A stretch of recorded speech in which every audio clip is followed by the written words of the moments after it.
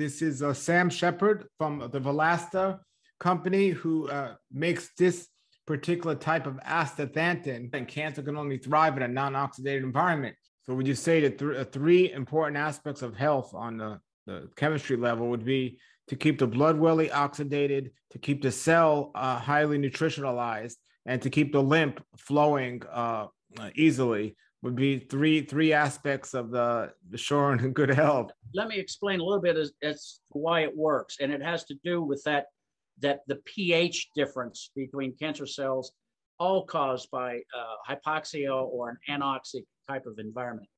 Whenever you have an, an anoxic or an oxygen short um, environment, the um, cancer cell will generate a hydroxyl free radical. And it also generates lactic acid. You've heard of people um, that uh, jog anaerobically.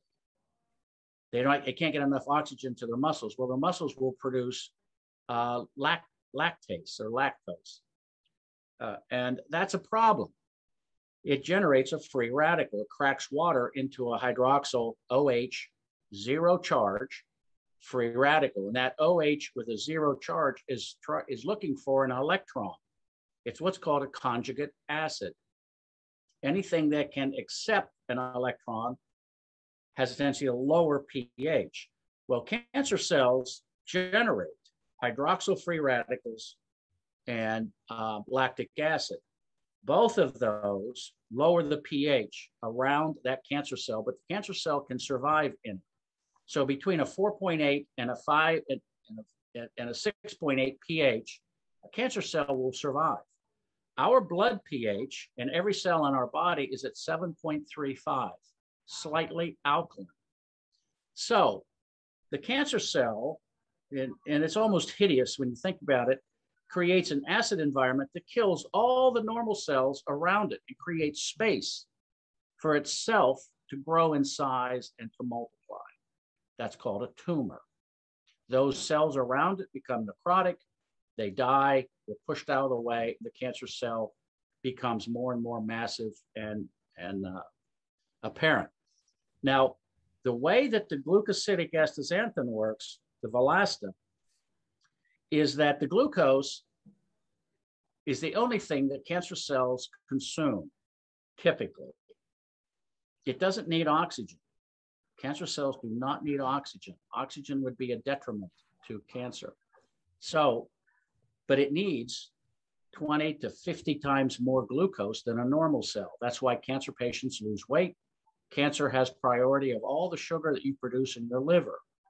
So any sugar pops into your bloodstream, just from a probability of glucose uh, channel perspective, cancer has priority over all that sugar.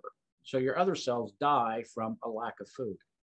Well, the glucosidic uh, astaxanthin, which is called Valasta, when the cancer sees that glucose, it pulls that, that whole molecule into the inside of the cancer cell.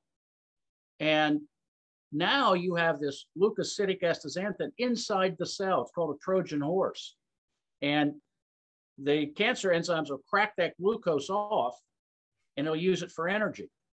The astaxanthin is an electron donor without itself becoming a free radical. Unlike vitamin C or, or vitamin D, vitamin A, vitamin B, they all become uh, free radicals when they do this same phenomenon, and they're called prooxidants.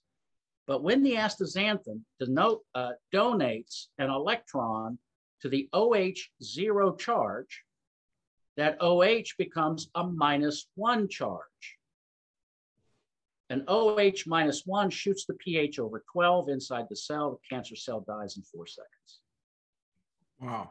Now, is correct me if I'm wrong now? Isn't the tumor what makes it grow is the own body's own natural defense system of trying to stop the uh, the the income the bad tumor from growing and uh, is surrounded by the body to try to stop it and it keeps growing and growing and growing based on the body's own protective measures is that is that pancreatic is like this and it makes it very very difficult um, you can build what's called an extracellular matrix around your, your body will do this. It's, it's like, um, it's like a cage. Um, the cancer just pushes on it. And the body, it, it, it's called a cystic formation. Uh, we see it with parasites in the brain, for example. Uh, Taenia solium is one that comes to mind. It's a parasite that goes to the brain. Um, your body will build a sac around it and try to isolate it and hold it there. If, if the um, macrophages, the neutrophils, the basophils, all your first responders on your immune system can't kill it. Then it falls back to the macrophages and the phagocytes, and they go in and they try to, to kill it. And chances are that they'll kill the parasite. But how do you get rid of this dime sized parasite inside your skull? And how do you keep, when it starts to deteriorate, those products from causing neural inflammation where your body builds a sac around it? so the same thing happens with cancer. We see it with viable cancer, and we see it with dead cancer cells. There will be a scar. That scar is the collagen wraparound of the injured area to try to isolate. Those are tough to get through. Pancreatic is notorious for putting a cage-like structure around itself to keep chemo out. Um, radiation will penetrate it, but boy, that's a that's a tough one to deal with. Glioblastoma is another one in the brain, uh, the blastomas that uh, your, your, um, your protein plaques will start to form around it, trying to isolate it. And it just keep pushes and pushes until you get neurological damage in the brain and in the pancreas, it becomes totally dysfunctional. It'll break through into the arteries and some cells will break loose and go to other parts of the body. Now, now on that same level, how dangerous is it for somebody who is suspected of having cancer to get a biopsy? Because wouldn't biopsy be cutting open a cancer tumor? There is some risk associated with biopsies. They've got it down pretty carefully, but anytime you crack through that extracellular matrix to pull a sample of that tumor to look at it, you've just opened up a channel for cancer cells to be released into the uh, into the bloodstream. And if if those cells are released into the bloodstream, some of them are fairly large. They get to the capillaries, typically where most of the blood flow is, is the brain, the heart, or the lung. Um, and secondary cancers, and that's called metastatic, by the way. Um, those cancer cells will find a spot, get lodged into that very narrow capillary. It has enough oxygen. It'll start through um, um, atherogenesis, where they'll, they'll start pulling in blood vessels in, in to nourish it, to bring sugar to it. Um, anytime you crack into it, surgery will do this. And that's why there's so much uh, emphasis on cleaning the margins. Uh, melanoma, we see it. You might have a, a, a, uh, a tiny pin part of melanoma, by the time they're done, they've re removed a quarter size piece of skin from you. They can't risk having a cell that's now outside the extracellular matrix of its confinement that might break loose and end up in one of these high pulmonary areas or cardiovascular areas of the brain or the pulmonary areas of the heart and lung. Is this why they would recommend if somebody gets a tumor removed to still do chemo? It is. It's an extra degree of safety because they don't know. No one can see a single cell spend that much time economically to know that they got all of it. So when you deal with it on a mechanical level uh, or on a shotgun approach, um, surgery is probably, if it's a localized tumor, is probably the, the first option that I would go for if it could surgically be removed. But you want to look at the at the downsides of that too. Uh, but um, the only way to combat cancer is going to be systemic.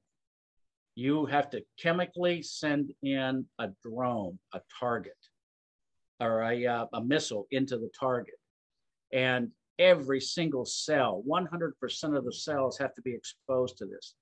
And I think, I don't know this, this for a fact, astaxanthin, especially the glucosidic astaxanthin, works that way because every cell in your body has astaxanthin in it after 30 days.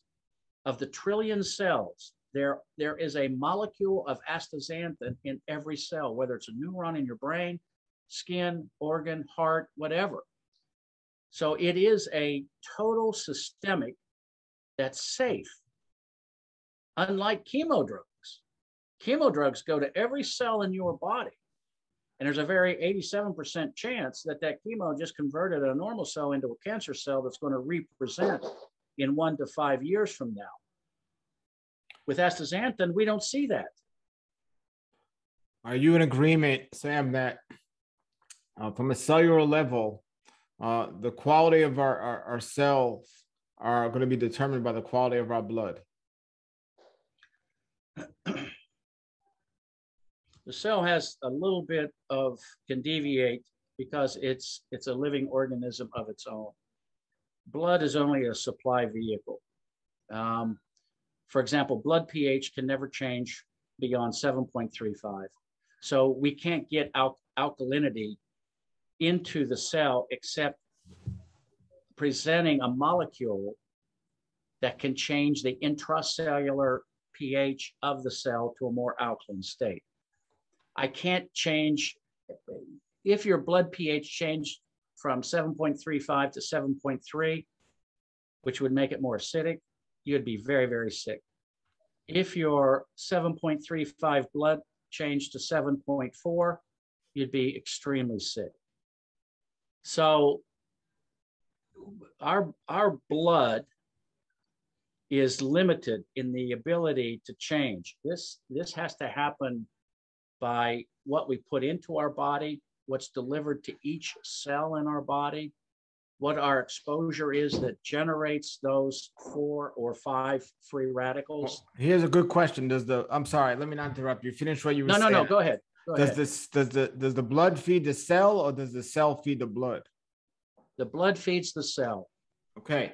So on that level, uh, again, the quality of the blood is going to determine the quality of the cellular health. Yes.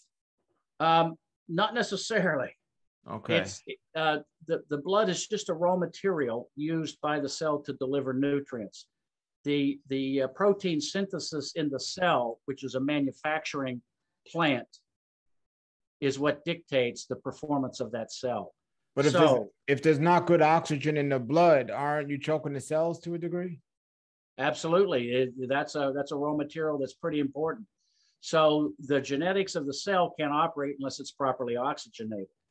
Um, uh, that's why hypoxia, and in, in, a couple of the papers that I wrote about the importance of, of not being in an anoxic or a hypoxic state, because that will cause the production facility in your cell to, to find a new equilibrium.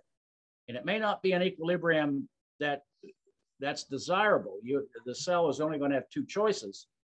It's either going to go into apoptosis and die for lack of oxygen, or it's going to mutate and become very efficient at producing other proteins that are not the ones that can be used by the cell. So would you say that th- uh, three important aspects of health on the, the chemistry level would be to keep the blood well oxidated, to keep the cell uh, highly nutritionalized, and to keep the lymph flowing uh, easily would be three three aspects of the the sure and good health. Would you agree exactly? It's it's um it's like it's it's like rivers flowing into a um, um, an ocean, or let let's say it's it's uh, three creeks flowing into a pond. The pond is the cell, but you have all these creeks flowing into it, bringing certain things. The, the lymphatic system is one that's really overlooked. It's extremely important. Oh yeah, it's, it's the biggest and most overlooked it, and and it is studied. It, but if you keep that clean, you'll have half the problems, and and that's the problem. People they're just uh, destroying the lymphatic system, making the piping system of the body so much harder, and the waste is going in the wrong place, and it's not going anywhere. It's so thick and and messed up. That's right, and and that's the problem I have with chemo. Chemo destroys the lymphatic system, destroys it. It's the waste removal. Um, Um, a cell will die in its own waste if the lymphatic system isn't removing it. Chemo will kill the lymphocytes and the, the white blood cells that are they're in the, the lymphatic system. There's, there's others there, basophils, neutrophils, but that's the waste. We have cells that are dying in their own feces. And that lymphatic system is so important. And it's not something that's, um, people look at your blood work. You know, they don't look at, at the, at, at the lymph. Um, somebody, if it was easy to do, they could pull samples and take a look at it and pretty much determine. I've, I've done this on, um, if you want to know how a community is performing, don't go look at their water intake. Go look at the sewage plant. Everything is in the sewage plant that happens in that community. We looked at it from a Department of Defense program where we were pulling sludge samples out of we out of adversarial countries. We could tell exactly chemically what was going on, how the diet of the people were, all from the waste it's it has a tendency to be after the fact. And that's always always you know the issue but um, it would be nice if we could prevent a disease happening and not wait till after it presents. And the lymphatic system is very good at looking after the fact um, as to what's going on. So it can point you in a very very uh, uh, definitive direction as to how I want to treat this or how is this quote community called the human body actually operate. The links below the video. Sam, thank you so much and uh, keep up the great research and the great work. Thanks, Paul, for all your support. Valasta is the strongest antioxidant. When you control your level of inflammation by neutralizing free radicals, then you control your health. What's causing diseases? I found four free radicals. These are chemical species called ROS, reactive oxygen species. That's what causes over 90% of human inflammatory disease are those four free radicals. The Valasta neutralizes all four of those. As you start to feel inflammation come down, you feel younger, you feel like you can do more, you have more energy. I think a lot of people are run down, they're exhausted and they think that that's how aging is supposed to be. And we're trying to tell people to get on the prevention side that you don't have to get used to feeling bad. Medicine treats the symptoms. We're eliminating the cause.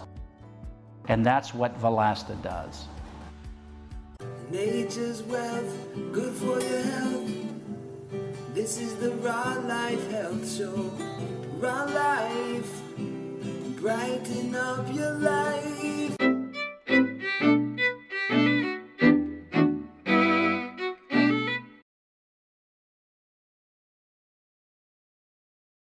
Order Astaxanthin by Valasta at rawlife.com. The direct link is below this video in the description.